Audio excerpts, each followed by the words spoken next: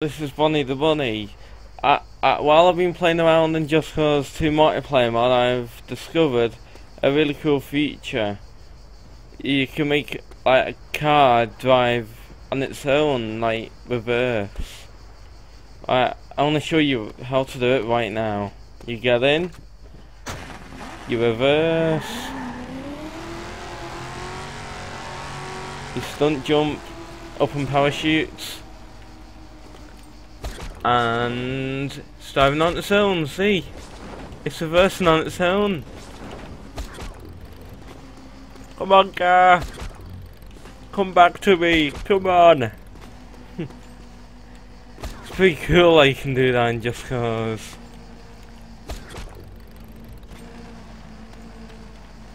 It will keep on driving until it hits something that slows it down, or if you get back inside it.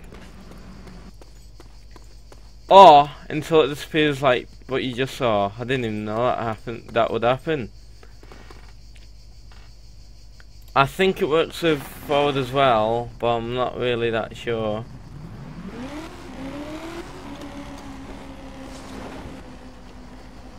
Yeah, I think it does.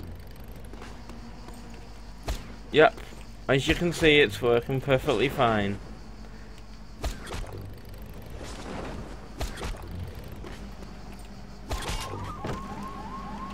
But if you just escape, uh, escape out car only, it will slow down. Like, for example, watch.